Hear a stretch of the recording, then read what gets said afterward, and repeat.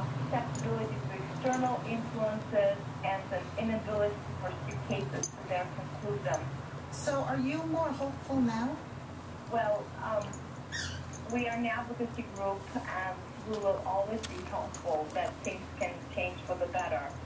I think what could turn the tide is a combination of public interest, more thorough work from the investigation, better political will to see these cases to their completion, and the involvement of the international community.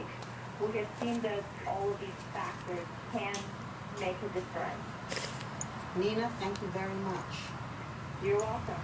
Nina Ognianova is the program coordinator in Europe and Central Asia for the Committee to Protect Journalists. She joined us from Moscow.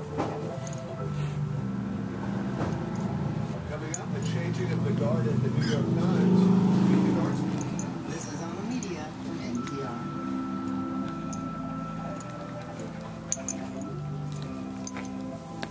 Support from the media comes from Reputation.com with tools designed to help doctors, lawyers, and executives